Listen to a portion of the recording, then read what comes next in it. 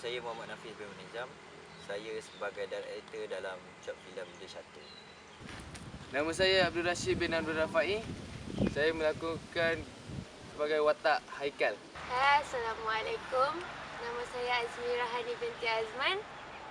Dalam cerita The Shutter ni, saya sebagai Sarah. Uh, hai, Assalamualaikum.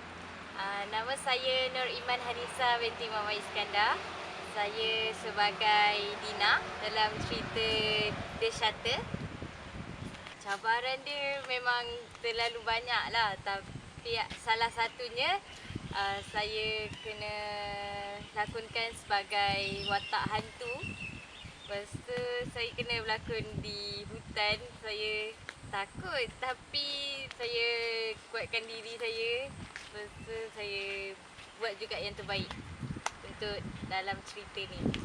Saya ada scene kena bunuh, kena pukul, kena sepak, kena tolak dalam kereta. Lepas tu saya kena tarik dekat dalam hutan. So, tu cabaran dia yang paling susah. Jangan lupa Saksikan Short filem The Shutter. Pada 7 Jun 2017 di KKTMR. Okey.